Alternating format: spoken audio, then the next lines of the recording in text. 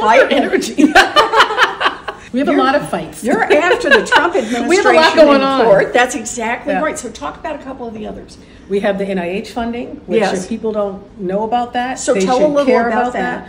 This is funding at the federal level. So cancer, Cancer. research and Alzheimer's research right. and cystic fibrosis, Pediatric cancer. pediatric ALS, cancers. MS, Parkinson's, you So as it. a nation, we put money in. That's right. To be able to fund the research because we've made a lot of progress. That's right. We know this is critical funding not only to advance research around diagnoses, but also solutions to solve for these diseases. All of us Treatment. know someone who has been affected by some disease, who maybe died or will die.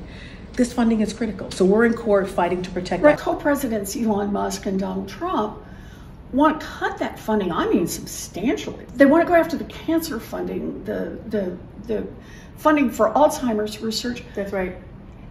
And how will we be better off as a country if they're able to do that? We won't. Okay. And, and it, to make it crystal clear, this affects everybody. Red state, blue state, it doesn't matter.